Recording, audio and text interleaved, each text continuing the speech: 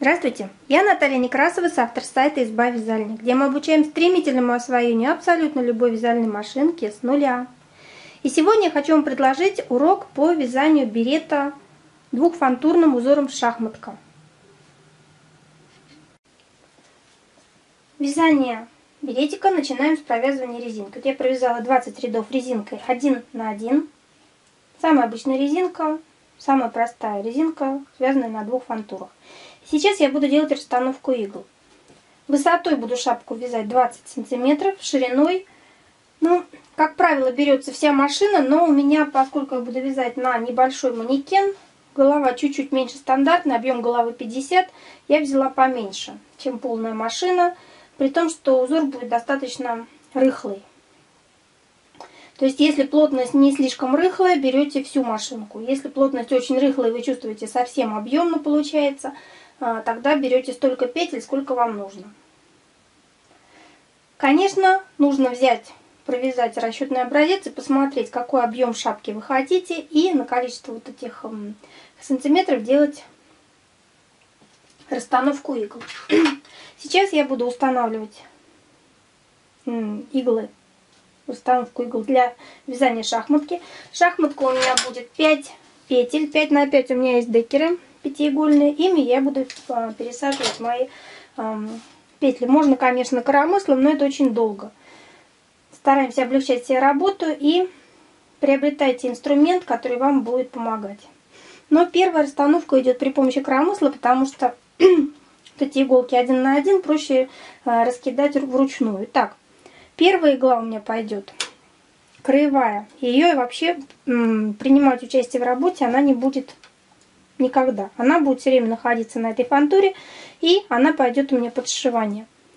Следующий у меня будет 5 игл.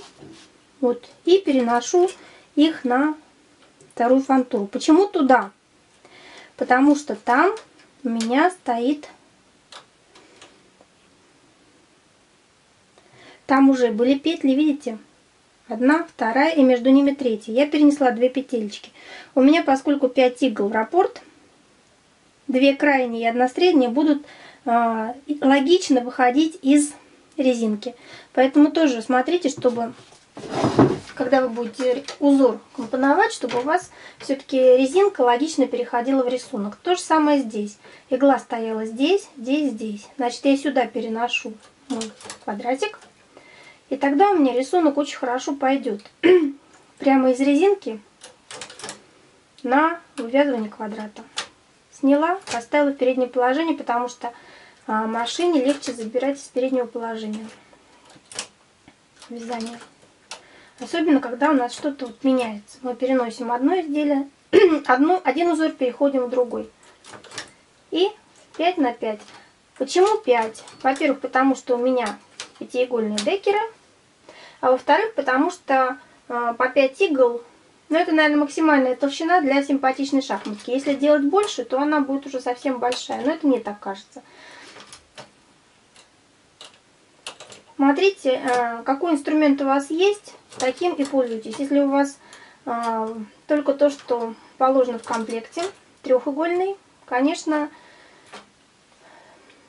3, 3 на 3 это очень мелко, это очень красиво, но э, получается очень долго пересаживать, поэтому э, если совсем лень, делайте, например, э, не 5 на 5, а 6 на 6, если у вас только трехугольные декеры. Так, ну вы до конца пересаживаете и провязываете то количество рядов, которые вам для этого узора подойдет. Я буду провязывать 6 рядов. У меня 5 петель раппорт, я провяжу 6 рядов. На самом деле не обязательно вывязывать четкий квадрат. Э, в узоре это не требуется. Самое главное, чтобы эти квадраты все время были одного размера. Поэтому я провязываю 5 на 5 у меня петли и ну, по 6 рядов я буду выполнять каждый раз узор. Итак, пересаживайте все петли. Ставьте рабочую плотность, рыхлую. Шахматка лучше смотрится в рыхлом варианте. А, тем более это берет. И провязывайте 6 рядов на а, всех иголках. Когда разнесли петли по фантурам, берем линейку и проверяем. Иглы, которые стоят впереди, должны стоять в переднем положении. И проверяйте, что все, что стоит сзади, должно стоять четко в заднем положении. Если какие-то иглы у вас, вот вы видите, они где-то там в середине находятся, машина заберет их в работу. И хорошо, если просто провяжет вам лишние петли, а не заломает иголки. Потому что когда иглы у нас встречаются, для машины это очень нехорошо. Просто ставьте на, игу, э, на пятки игл линейку и проводите. Все, все. Заодно перепроверяйте себя, что у вас э, четко в шахматном порядке иголки встали в работу. Все отлично. Счетчик 0. Плотность. У меня на резинке была плотность достаточно тугая. Сейчас ставлю рабочую. На обеих фантурах тоже не забывайте этот момент. Потому что иногда ставят плотность на одной фантуре, вторую забывают. И провязываю 6 рядов.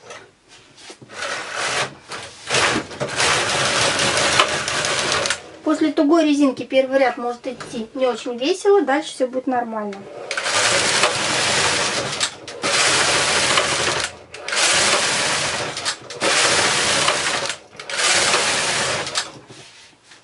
Провязали. Берем два декера и меняем местами наши э, петли на всем полотне. Вот таким образом вывязывается шапочка. О, шапочка. Э, шахматка. Конечно, шахматка.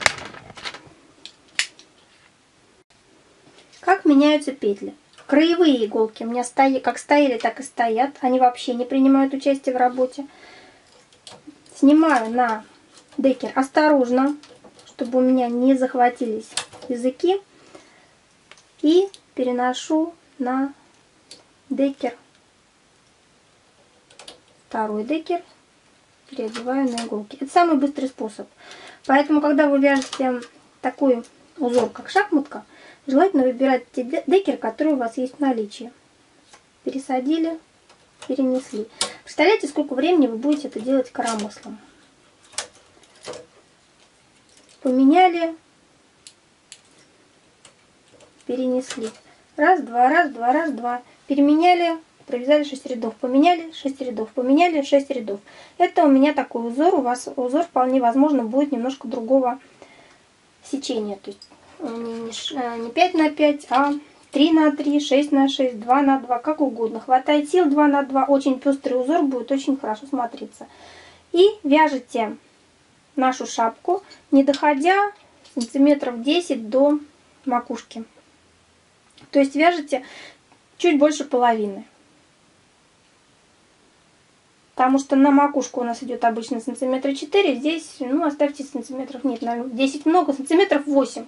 Когда остается 8 сантиметров, останавливайтесь, будем делать самый простой способ убавки полотна на вот таких прямых фактурах.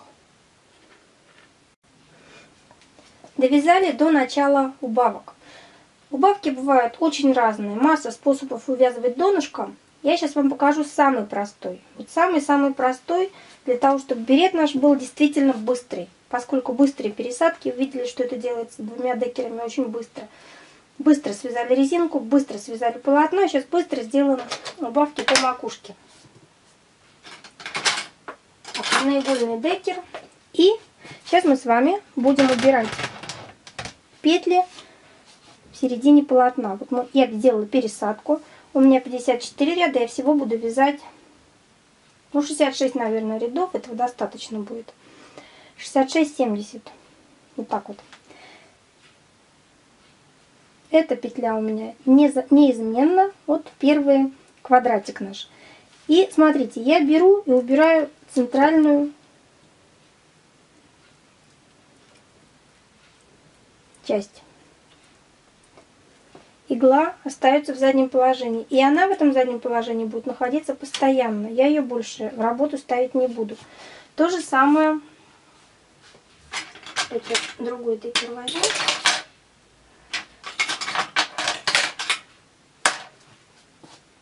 Одна и. Вот пересадили две петли. И центральную на соседнюю. Все. Та игла остается в заднем положении.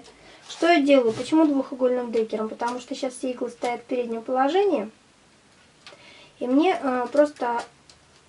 Ой. не натянуть иголку на а, петлю на иглу, которая стоит высоко. Немножко неудобно это делать, но вот беру две петелечки, ставлю в рабочее положение и центральную снимаю на соседнюю. Это я делаю для того, чтобы уменьшить количество петель.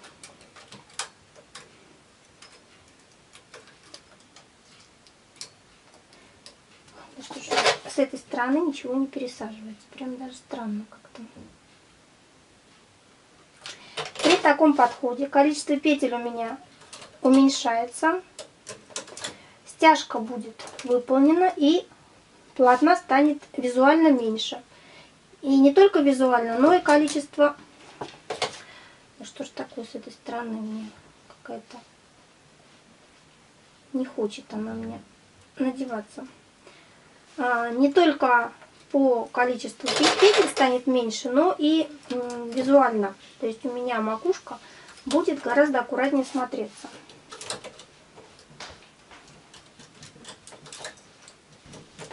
Но это не все, кроме того, что я сейчас уменьшаю количество петель на машинке, на игольнице, вот таким вот хитрым способом. Я еще сделаю плотность потуже для того, чтобы стяжка пошла, потому что основное вязание у меня было на достаточно рыхлой плотности, семерка с двумя точками, на семерке, да, просто на семерке. Этот ряд я провязала, один блок я провязала на шестерке, и сейчас, пока я помню, я ставлю э, пятерку. И на одной и на второй фантуре, то есть я сейчас стягиваю полотно. За счет вот этих вот петель, которые у меня убираются, полотно не будет слишком перетянуто. Оно не будет, потому что сейчас я провяжу 6 рядов и уберу еще часть петель. У меня получится достаточно рыхлое такое вязание. То есть я буду убирать, э, например, э, петлю между блоками, но просто пересадив ее на соседнюю. То есть вот, вот таким вот хитрым способом. Сейчас мы будем все это убирать дальше, но сейчас первым делом убираем центральную петлю. Моя задача убрать как можно больше петель, для того, чтобы стяжка полотна в итоге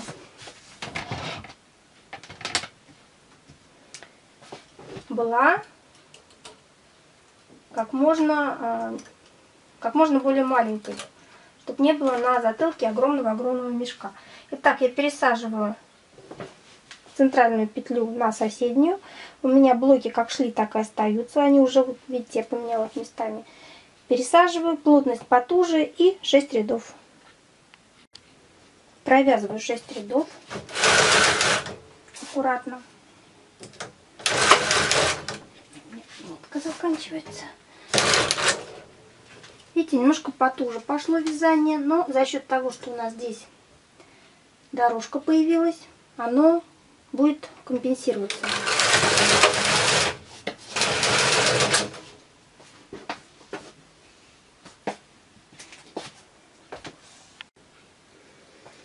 провязали, пересаживаем эти петли на другую фантуру. Ну вот так вот получается, что у нас два, две петли и две петли. Они достаточно тугие. Сейчас мы снимем еще. Смотрите, уже осторожно. Потому что, видите, они уже настолько тугие, что плохо цепляются. И пересадили центральную назад. Можно уже брать 2 и 2 декера, если двухугольные. А, если сложновато натягивать центральный назад. Вот пересаживайте. И после этого будем еще сдвигать наши петли, чтобы их стало еще меньше. Провязали. Теперь давайте сделаем еще меньше петель. То есть берем петлю с одной стороны, пересадили на центральную иглу, и петлю со второй стороны. То есть из четырех иголок мы делаем три. Так, мы одну берем с краю на серединку. И с другой стороны тоже на... Ой. Неудобно с этой стороны. Так, на серединку.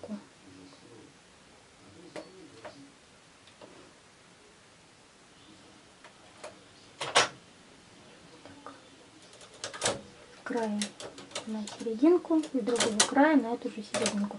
Видите, у меня из четырех игл получается три. Основная масса игл у меня стоит в заднем положении. Здесь а, в работе получается достаточно малое количество иголок. И в принципе на этом мы можем и остановиться, потому что больше вязать мне уже не надо. Я провязала всю длину. Сейчас провязываю еще 4 ряда, потому что здесь получается очень такое малое количество игл. А, на плотность еще более тугой. То есть я и так сделала на пятерке, сейчас ставлю э, буквально 3, 4, 3 и провязываю два ряда. И последний ряд будет на достаточно такой рыхлой плотности, чтобы у меня была хорошая стяжка. Потому что, когда тугая петля, ее очень тяжело стягивать. Стягивать хорошо рыхлые петли. Это я говорю про самый последний ряд. И когда мы его с вами провяжем, мы просто все эти иголки соберем, все петли соберем на одну нитку. И с вами затянемся. Сейчас пересаживайте, провязывайте два ряда на более тугой, на максимально тугой плотности, для того, чтобы убрать все стяжки, протяжки. И ставите рыхленькую. Но если сейчас буду провязывать на четверке, то ставьте шестую, седьмую, один ряд. И собираете все петли на одну нитку, на рабочую нитку. Можно с помощью иголки, можно с помощью декера, а, с помощью крючка, как угодно. Пройдите, соберите все петли на нить. И, собственно, на этом наша шапка уже связана. Будем ее сшивать и мерить. И вот так на иголку снимаете петли. Конечно, не могу сказать, что это очень удобно снимать а, двух фантур петли, но осторожно, потихонечку, периодически надеваете снятые уже иглы петли на иголки, чтобы не провисало, потому что у нас там оттяжка висит. И аккуратненько, убирая иголки назад, чтобы они цеплялись, снимаете петли с каждой иглы.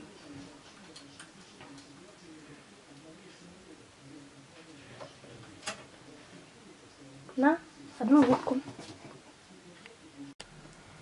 Если вам понравилось, нажмите нравится, поделитесь с друзьями. А также подпишитесь на мой канал, чтобы быть в курсе всех обновлений. И жду вас на нашем сайте «Изба вязальни» в школе машинного вязания, где мы обучаем стремительному освоению абсолютно любой вязальной машинки с нуля. Ваша Наталья Некрасова.